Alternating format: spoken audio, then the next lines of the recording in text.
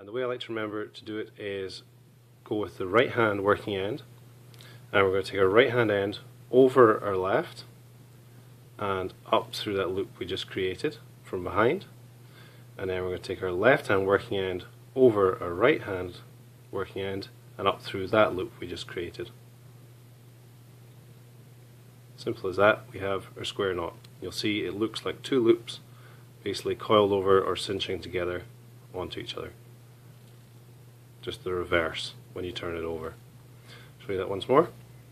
So with a rope we're always going to remember to start with the right hand side and go over the left up through the loop we just created. And oh, sorry. And then left over right up through the loop we just created. Pull tight and that's your square knot. This is going to be our standing end on the right and our working end on the left. So I'm going to go ahead and pick this up off the bench so it's a little easier for you to see. So you can see I've just made a loop there and my working end has come across and underneath the standing part of the rope. Make sure you leave yourself enough slack here, plenty of slack so that uh, you've got enough to work with.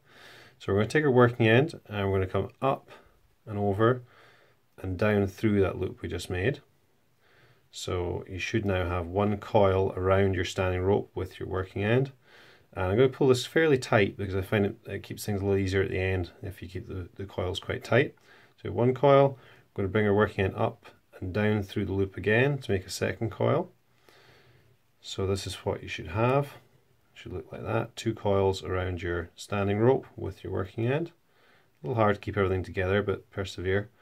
And this is obviously the knot that's going to slide up and down our working or standing rope. Um, sorry, our standing end. Uh, take your working end, and we're now going to bring this, instead of up and down through, we're going to bring it down below the two coils we just made.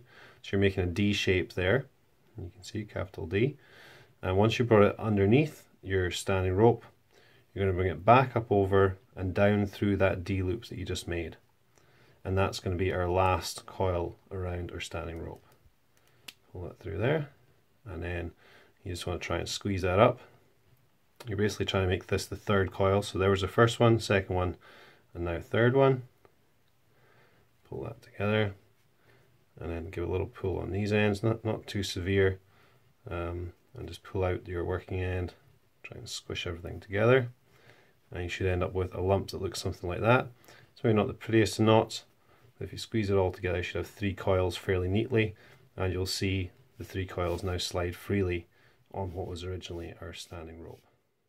To make a simple cow's hitch, you're just going to bend your rope in half and put it behind, make, take this loop and put it behind the object you want to put the hitch onto and bring the loop back over the object towards you so it's on top. Reach through the loop and grab your two working ends and pull them up through and cinch that down. It's a really strong hitch provided you have an equal force pulling on both of your working ends or these are both tethered to something. If they're not both tethered, you'll find that the cow's hitch can tend to pull out. So if we if we waggle on this end here, you can see the other one quite easily uh, begins to feed through and eventually would pull out. So to rectify that, if you have a load just on one of these strands, uh, you can actually secure the hitch and make it much stronger so it won't pull out. So let's just slacken it off slightly. We're going to take our working end here. Uh, we are just going to pass this behind this strand on the right uh, we're going to bring it over the top of the two middle strands and lastly behind the strand on the left. Push that through. Okay, so you have something that looks like that and then you're just going to pull everything tight. So pull this end through, pull your working end out and now you can put as much load as you need on this working end without any danger of this pulling out because it's secured here and the harder you pull the tighter that hitch will get but it's still pretty easily um, undoable. So let me just show you the front and back. It's front view. And the back. thing we want to do with our working end is bring that back around to form a loop.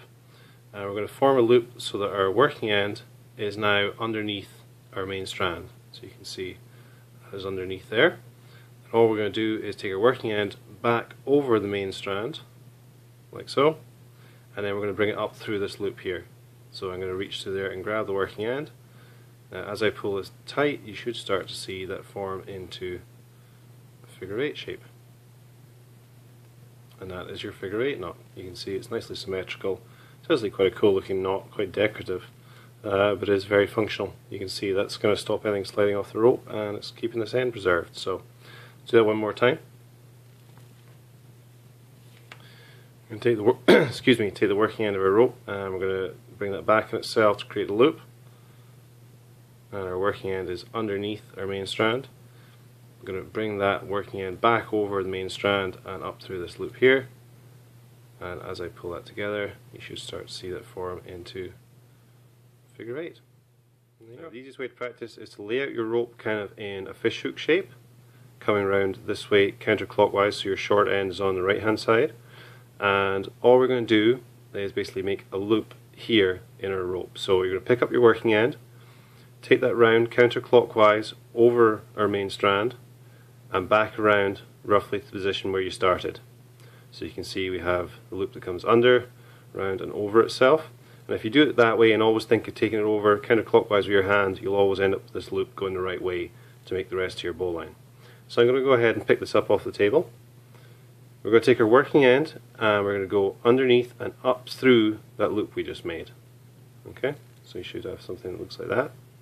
We're then going to take our working end around the back of our main strand here, like so, and then down through this loop in the middle. Okay, so down through that top loop. Hang on to that end there, and we just want to pull through here, pull everything tight, and that's our bowline. I've left that quite loose, I haven't cinched it up so that we can see how it looks. So you can see your working end basically creates kind of a halter around your main strand and you have a loop coming around the front of it. The reverse should look like this. Okay, so let's just lay that out and do it once more time. So we start with our fishhook shape. Take your working end go counterclockwise over the top of the main strand and back around to where you started. You're then going to take your working end up through that loop round the back of your main strand and down through this top loop in the middle. And then we're just going to cinch everything tight. And that's your bowline knot.